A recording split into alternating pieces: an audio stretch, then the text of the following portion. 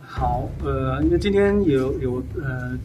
有总共有八位的这个有工确诊嘛，哈，那呃中央也在呃今年也有订定这个企业应运这 COVID-19 的疫情持续应运的一个指引，哈，那劳动部也在三月有发文给县政府，那请县政府再转知我们的所有的企业单位以及我们的私立就业服务机构，那请我们的这些呃就业服务机构以及企业来依照相关的指引来。呃，规定来办理哈。那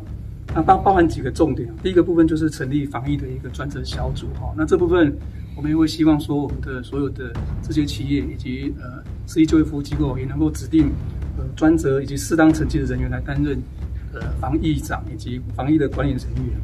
那另外在防疫建议的部分，那我我会希望说，呃能够尽量鼓励呃他们所属的这些义工能够紧速在。呃，接种疫苗的第三剂哦，能够增加疫疫苗的一个覆盖率。那包含还有实验制以及员工健康监测这部分，也都希望呃事业单位这边能够来落实办理。如果说在还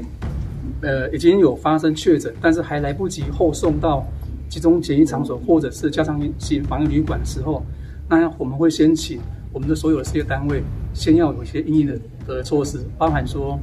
呃相关的一些。先让这些确诊的义工能够暂时隔离的一个空间，这部分我们会来请事业单位来做一个配合。